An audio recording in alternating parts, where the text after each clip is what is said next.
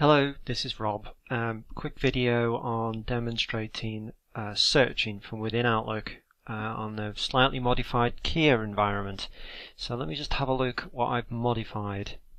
Um, I have a desktop policy here uh, which is going to enable Vault Cache when users want it to be enabled but I'm going to change it to do not store any items in cache.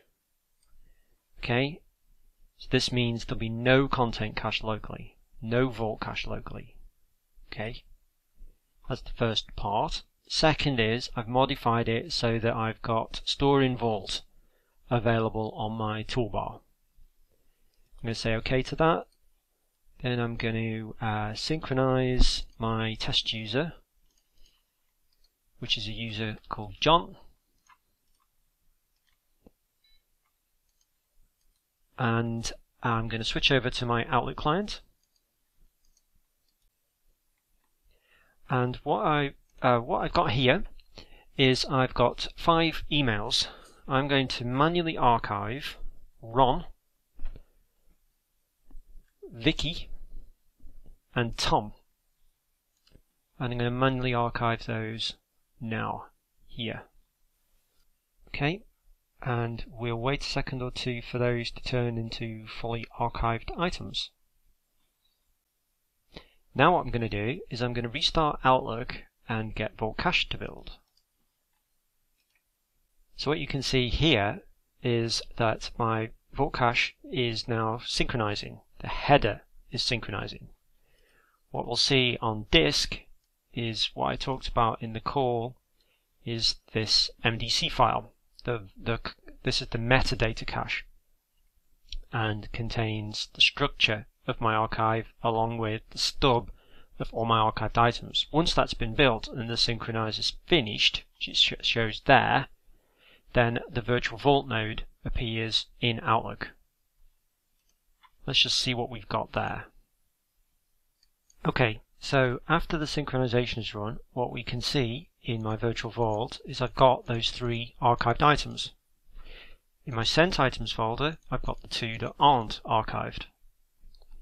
And on disk, all we've got is an MDC file.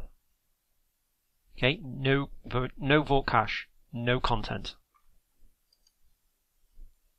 So, now what we can do is, if we go to the inbox, and we search for Bob, we don't find it, it's not in the inbox. We do a search on all Outlook items and we find it there. And we can see that that's from my mailbox. Yeah, and we know that that's in our sent items folder there. Okay. Now, bring this back across. Let's search for Vicky. Not there. Now when we search for all Outlook items, we find it. And how have we found it? Because it's in our virtual vault, it's in our MDC file, it's in that stub information. Now this is all uh, fine. If I then try and open that item, I can open it. But that's because I've got a connection down here, as you see, to my EV server. But even when I opened that file, there was no content added locally. What I can do then is if I um, if I disconnect my network connections here. No network connectivity now. I go to a command prompt. I can't hit my EV server. Now, I go back to here. I search this time for Ron. So that's someone else that's in our archive and not in our sent items anymore. I do a search there, Ron. But you see, it can't preview it here because only the stub information is available. And if I try and open the item, again, I'm just getting the stub information out of Virtual Vault. Hopefully that shows that my three items here are searchable from within Outlook. When I've not got a network connection, I can still search the metadata. Thanks very much. Bye bye.